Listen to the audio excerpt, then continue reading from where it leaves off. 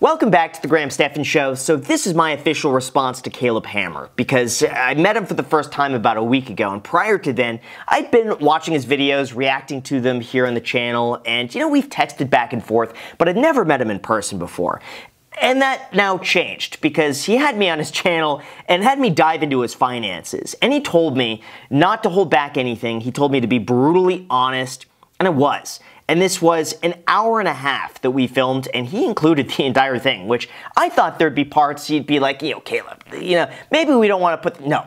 He was absolutely shameless, including in the title. Fat Guy refuses to stop eating out. So with that said, I wanted to share my own thoughts on the situation and give you some of the behind the scenes in terms of what was going on, what was going through my head, and things that maybe you might have missed. So with that said, here's the video, and we'll begin as soon as you hit the like button and subscribe. That's all I ask for. That's it. Thank you so much, and now let's begin. My name is Caleb. I'm 28 years old. I'm based out of Austin, Texas, and this is Financial Audit. This is crazy for me to be sitting here. It's crazy it's, for it's, me. It's nuts because I've seen so many videos, and it's hard for me to be in this seat doing this on you because I would be on the other side of this. I'm not sure if you could tell, but I was really, really, really nervous about doing this. The issue wasn't so much me being on camera, it was the fact that like Caleb has such a presence and has such a strong show and direction that putting me in that seat just felt like anything I tried to do is like, oh, I'm trying to copy Caleb. And I don't want it that people are now like comparing me to Caleb or Caleb to me and thinking that like I have to act like Caleb. So it was hard to go on the show to be myself, knowing that Caleb is the bar that everyone is going to compare me to, if that makes sense. You've carved out a really unique niche, I think, on Yeah. YouTube. No one's really done that. Dave Ramsey has, but he hasn't taken it to the podcast He does the mini format. audits. Yeah. So what prompted you to get into auditing full-on financials? So before we did this, actually, I came up with a bit of a like an outline in terms of how I wanted it to go. And I thought to myself, if someone sees Caleb's channel for the first time ever, and I just go right into his finances, they're not going to know who he is, what his background is, how he got started. I felt like that was really important to put in the beginning, so that no matter who you are, if this video is the first video you've ever seen on Caleb's channel, it's at least going to make some sense. I studied music composition in college. So when I would go to write music, I'd be like, okay, here's a piece of music that I want to hear. It doesn't exist, so let me write it. Here's a show that I want to watch. Here's a conversation that I wish happened to me 10 years ago. It doesn't exist. I guess we should make it. And that's actually how I started my main channel because there was a lack of financial content on YouTube at the time. This was like 2016, and I wanted these topics about real estate, investing, building wealth, saving money, credit cards that just didn't really exist. Like back then, it was really Grant Cardone, Tai Lopez, some of Patrick Bet David, and Alex Becker. Those were the only four people really. Well, Dave Ramsey was on there, but uh, okay, five people. Those are the only really five people who were doing it at scale at that time. And I thought, you know what, it, it would make sense that someone else come in and share their own thoughts firsthand, someone who's a lot younger. And that's what I did. And same thing with this channel, the second channel. No one was doing reaction to finance content at all. But I saw channels like Cody Ko. And I was inspired by that. And I thought, well, if he could do it for the commentary sector, I could do it for finance. And this channel immediately blossomed. So there you go. The amount of money that is coming in on a monthly basis isn't something that I would have dreamed about making in a yearly basis. What were you making, let's say, two years ago? Two years ago, hundred thousand dollars after bonuses. And what were you doing then? I was a product manager. The faster the come up, by the way, usually the faster the decline. I, I heard that a while ago, and and it's remained true for the most part. I mean, obviously, you have some of these stars, is like they seem like they pop up overnight, but it was like years in the making to get to that point. But overall, I think longevity is something really important, and Caleb has risen really fast in YouTube. I think that'll continue, but just from what I've seen, usually, the faster someone comes up, the quicker people move on to something else.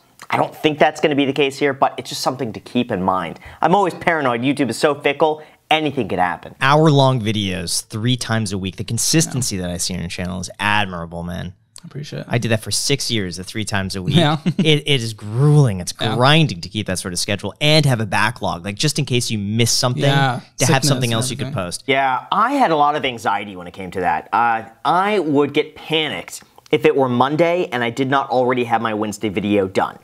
I would, like, internally, I couldn't sleep, I couldn't focus on anything. It, it was all I had to do was get that Wednesday video done. Actually, come to think of it, there were like five years there where, I, where I, like, I didn't even miss a video. D- that didn't even happen. The only times I ever didn't post were if it were on a major holiday where I knew views would be slow, or if a prior video is really getting pushed and posting a new video would jeopardize the algorithm of the prior one. Because usually YouTube promotes the latest video in your channel and as soon as you post a new one, it halts promoting the old one. So I would just let the old one ride and then post the new one when that one was kind of like dying down. So beyond that though, I had a lot of anxiety. I remember once it was on, uh, I think it was Labor Day and it was a really slow day on YouTube. And I and I know it's slow because I watched the algorithm. I'm checking other channels to see what they posted, and everything was really slow. It was like half of what you know normally should be shown. And I decided not to post that day. I had the video ready. I decided not to post. The anxiety that went through me, and this was like four years ago, was like it was so intense for me not to post that day. I, like it was gut wrenching. So you know, I'd say keep the schedule while you can, and then when you physically can't do it anymore. maybe don't do three times a week, but that schedule, you could probably get a few years on that easily, depending on how he's scaling. It's hard for me to go through and be like, you spent too much money at, uh, at Jimmy John's because in the big picture, it really doesn't matter that much relative yeah. to how much you're making. Yeah. But in doing so, there's a lot of stuff that tends to fall through the cracks that you just don't care about that could easily be cleaned up. That's been something that I've adjusted to too, is that I was so frugal, where like every dollar would make a big difference. And you know, not stressing about expenses has been something that has taken me a long time. I'm still not over it. Like, I'll go to Chipotle, see they want $3 for guacamole or 250. I won't do it. Even though I want the guacamole, I just don't think it's a good value. So from my end now, I don't really worry about the price tag. It's more so, am I getting a good deal? Is this a good value? Is the money I'm spending on this going to reward me in the amount that I'm paying? I see uh, a mortgage, eight thousand dollars a month. Is what I put towards it. I think minimum's like seven thousand two hundred. What about property taxes though? Because that's another good chunk. Oh yeah, well that's all included. Okay. So that's mortgage, property taxes, insurance. Why did you decide to buy? Because it seemed like yeah. you went from. I know. That I think was a huge, huge mistake because his income scaled up so quickly. He goes right for a nice house renting the same house right now would be cheaper. He's very new to, to all of this. I think renting for the time being would have been the smarter financial choice and not to burden himself with such an expensive mortgage, especially if he could use the home he's renting purely as an office. So like he could stay during the day, work during the day in a nice house, go back to, you know, his prior condo, and then the entire expense of the rental could be deducted from his taxes. That to me seemed like a no brainer to do that. Get a house for a business and then live somewhere else at night. Like, to me, that would have been perfect. If it follows the trend of the rest of Austin, I think this neighborhood in the coming years, you know, there, there's houses for sale, tear it down, build a nice new house. And then again, one zip code over. This is a $2.5 million house. See, here's the thing though. He's betting almost his entire net worth on the house. To me, that's very risky. And not just on the house, on the area of Austin, Texas. He might be right, but it's a big chunk of change to plunk down there.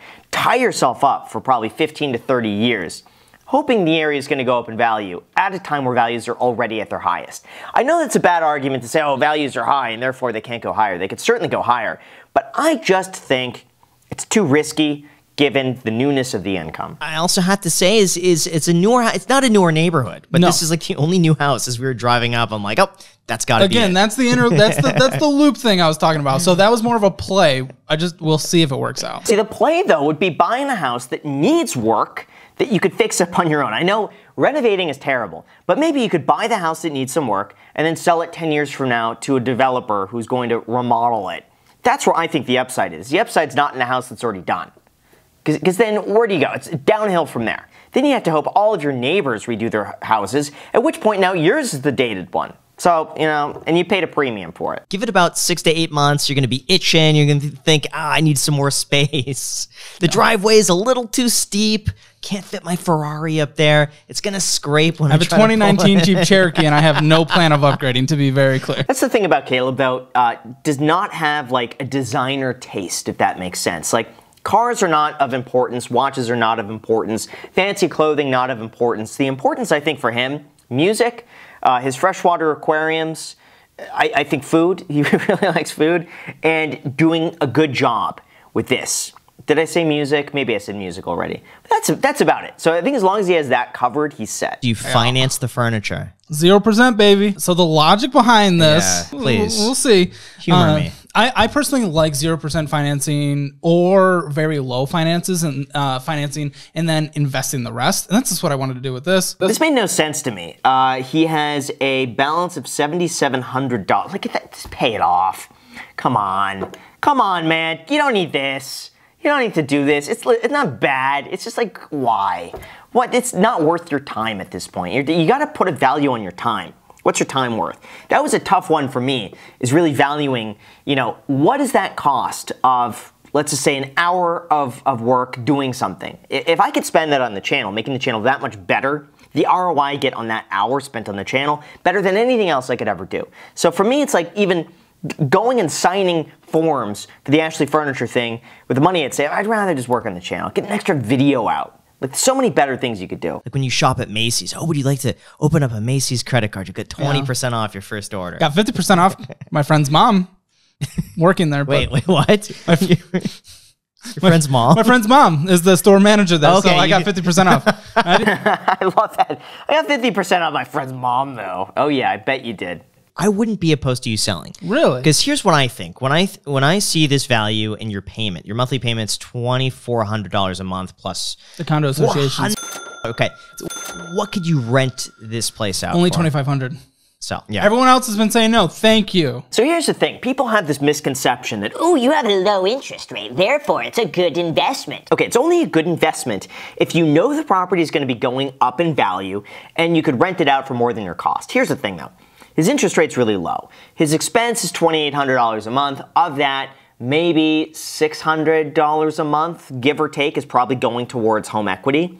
He's at a $300 loss in terms of what he could rent it for. So every month he's shilling out $300 to be able to get back about uh, hold on, I'm doing the math here. $400 in equity, give or take, uh, after everything is said and done, not accounting for vacancy, by the way.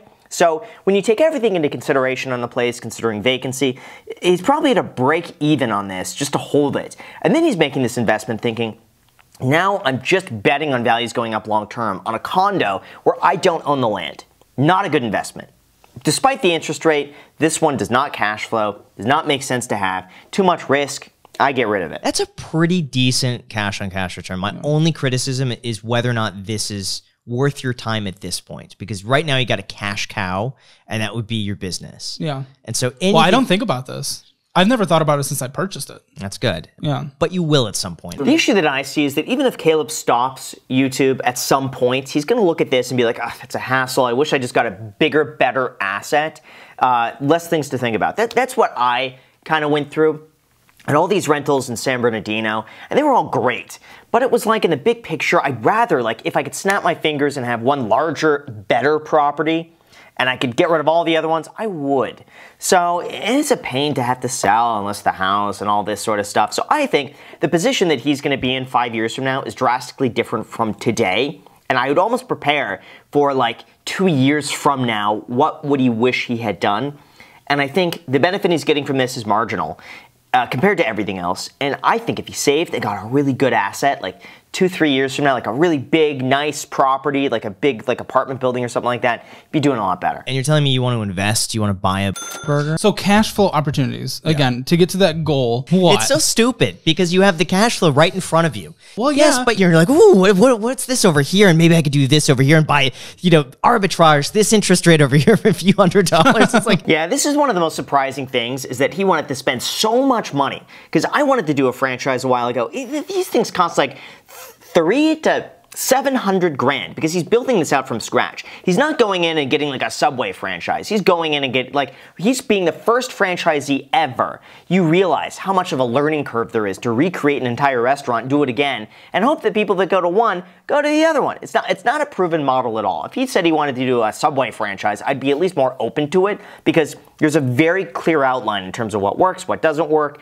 you know, all the operations, they help you through it. Something like this, he's going to be the first ever franchisee. Bad idea. So much money. Why? You have everything. You you have a winning lottery ticket and you want to make a side bet, yeah. betting that lottery ticket that oh maybe I could do better over here. Yeah, exactly. Here's the part of the franchise I really don't like. In addition to the cost, which financing the cost of a restaurant build out, he's probably looking at 12% on that, unless he pays with cash, in which case he's depleting all of his money. He's selling stocks. He's getting rid of things to be able to do this. But the lease payment, you're stuck in a lease regardless of whether or not the business is successful. If he loses money, he still pays rent. If he makes money, He's still paying rent. He's paying rent no matter what.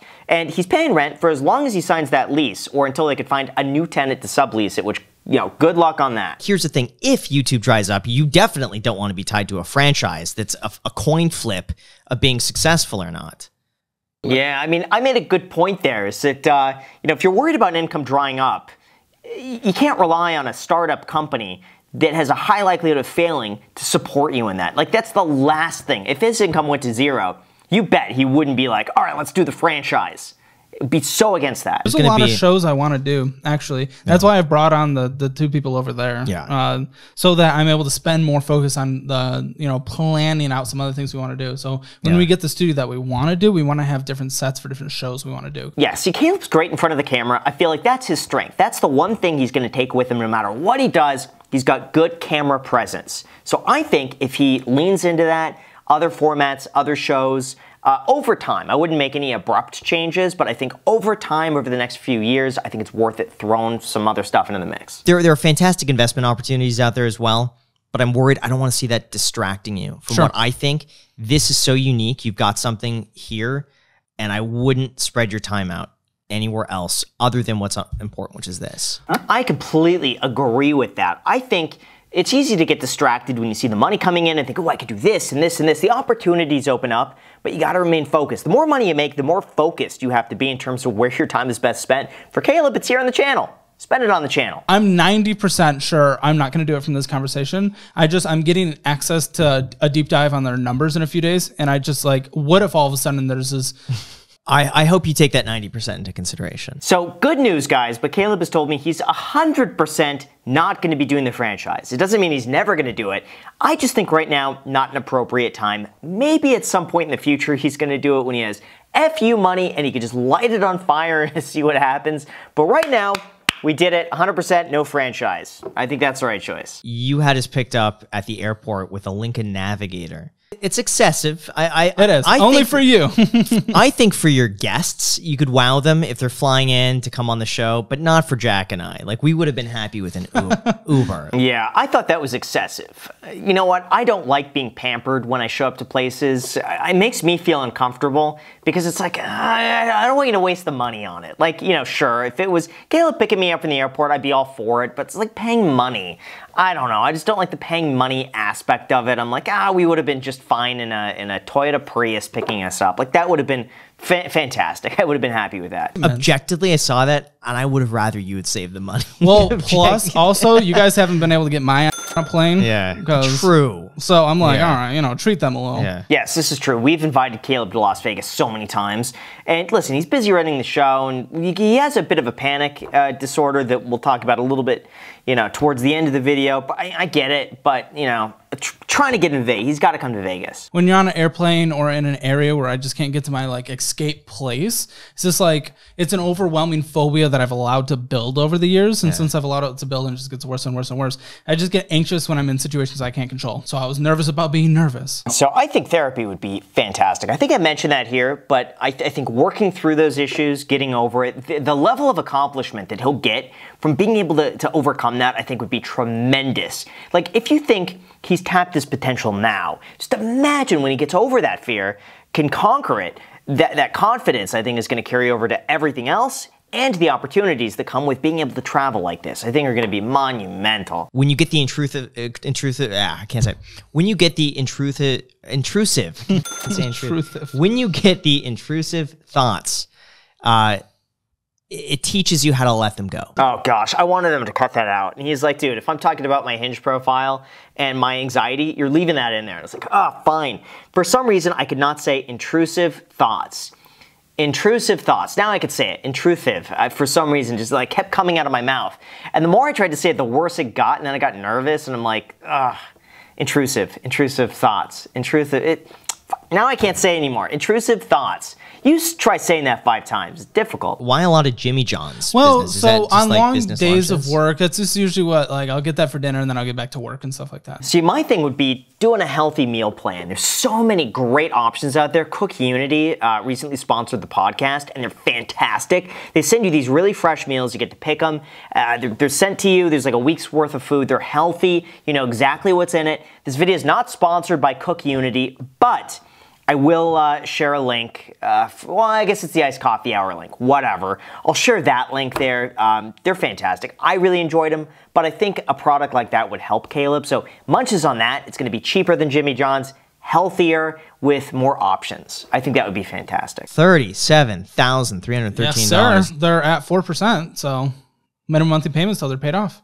I, I feel like it's a not a waste, but yeah kind of of thirty-seven dollars, thirty-seven thousand dollars to just throw it at it if I'm going to get average ten point whatever with dividends reinvested in the S and P 500 on average. Yeah, I mean, part of me thinks though he's able to get some sort of a tax write-off, I guess, based on his mortgage. Not so much on this. So I would be looking at his like net cost when he accounts for all of his investments out there, where he's really using the cash, if it's worth it to pay out the student loan or not. Four percent, not tax deductible.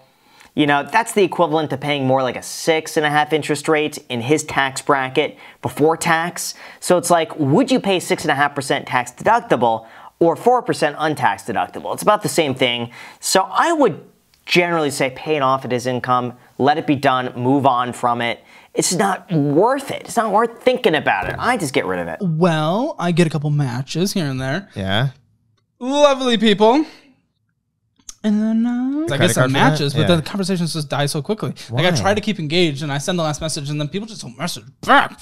I don't know. That's always what it is. Okay, some of it is the fact that like, hey, when you're a female on a dating app, you're going to be inundated with messages. You have too many messages to respond to. So it's a simple fact that like if you get 100 messages, you're only going to respond to a few of them. If your messages are not top tier, if they're not in like the top percentile of messages, it's like you're not getting a response. So the fact that you even get a response to begin with is like good. But uh, yeah, usually ghosting is just like, you know, you don't seize the moment. You're not sending good messages. You're not captivating. You're not witty enough. You're not funny enough. You're not conveying your sense of humor. You're not conveying your personality. There's a lot of things that go into that. So this is your main picture? Mm -hmm. I hate it. you with a banana. fun. No, there's two people in the photo with the banana. They have no idea which one you are. They can't even see your face. This is so stupid. If I'm looking through Hinge and I see like just photo after photo, and this, I come across this one, it's not eye-catching at all.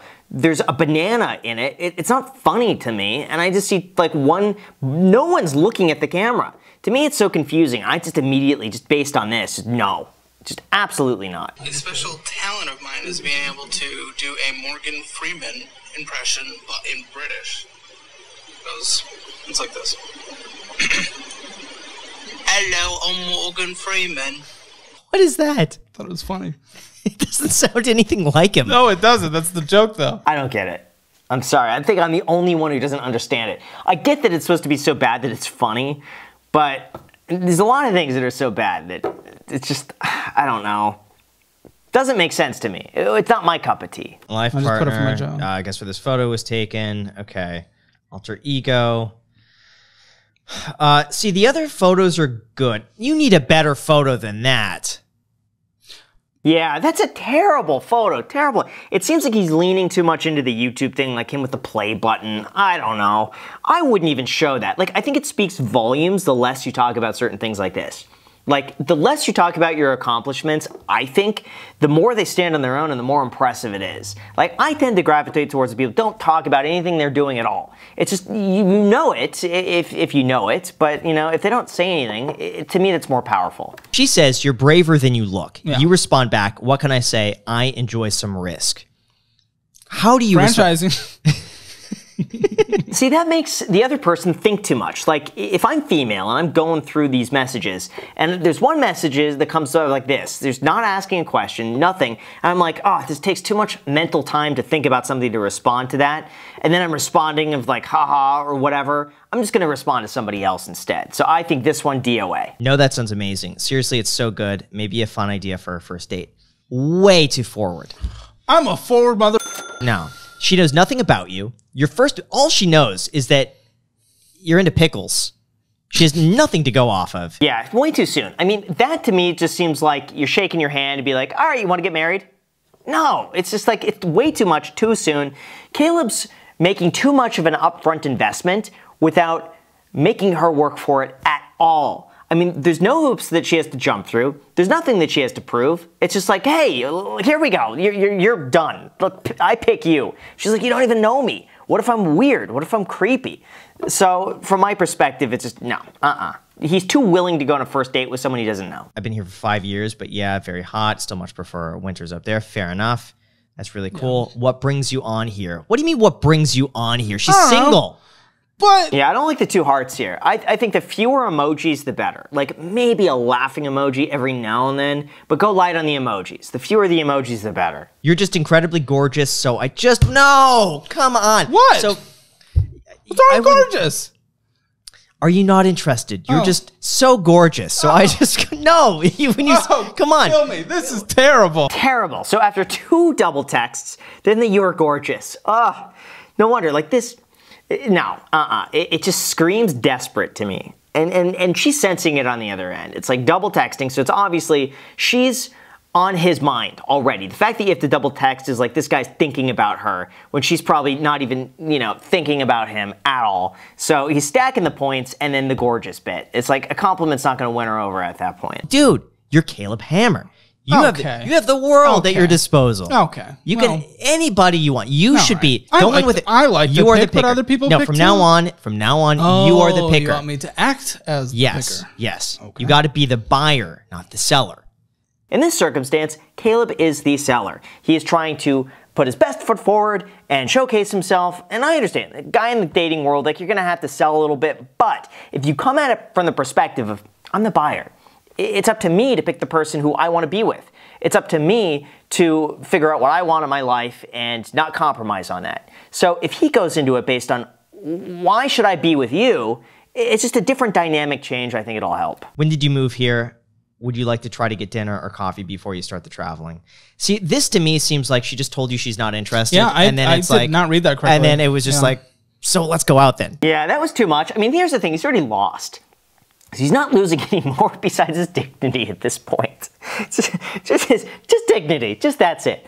But you know what? If you don't care, yeah, there's a one in a million chance she'll say yes to that. One in a million. But hey, you know what? You can also win the lottery. Okay, so my income is out there. I also don't want anyone to date me because they're not position. going to. They're not going no? to. No. Oh, okay. Oh, a lot of people have warned me of that. If they know me from YouTube, then they know I'm very frugal. I'm not the yeah. type of guy if they want someone to spend a whole bunch True. of money. Yeah, here's the thing. It's just like if you're worried about gold diggers, don't don't spend money on them then.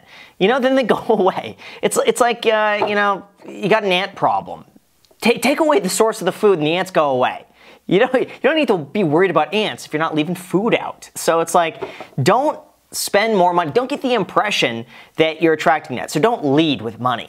Don't lead with, oh, I'm gonna, you know, pick her up in my Lamborghini. I'm gonna take her to Mastro's on the beach. And like, as long as you don't lead with those things, it's not gonna be a problem. I tend to think a lot of that comes from guys who are like, yeah, let me pick her up in my sports car. We're gonna go to the club. I'm gonna drop $10,000. We're gonna go like this, my penthouse. Like that. Well, then that's what you attract. You attract what you put out. I would love a lovely someone to eventually share it with. Now, now you're selling. Remember, oh. you're being the seller again. Now, now you're saying this is what I have to offer. Come pick me. Okay. Not, not. Hey guys, I'm right So here. this is what my financial audit has turned into. I read the comments. Seems like people really like the, the hinge breakdowns. I would love to start doing that, just breaking down dating profiles. I had I had so much fun doing that with Jack. I think uh, he's I think he's over it, but uh, I would love I would love just to do like dating profile breakdowns. I, I would be into that. I sold ten percent of my company. Really? Yeah. Because at that time it was making like ten thousand dollars a month, very anxious and nervous. But this is where you'll be happy. I put a clause in there. If the channel continued to do well, I sold ten percent for twenty five thousand dollars at that time. Again, it was just an anxiety move. It was just mm-hmm. a bad move. Yeah, see, it seems like Caleb has this problem with with making moves based on anxiety or just like impulsiveness. If he could just put a delay on his decisions by two months, sixty days, so any major thing he wants to do, someone's got to stop him and say, okay, you could do it, but we're putting a pause on it for two months. After two months, if you want to do it, you can. That would solve so many things for Caleb. Just a two month delay. That needs to be a thing. Well, thank you so much. That is my advice for you. Don't be stupid with your money. Play it safe.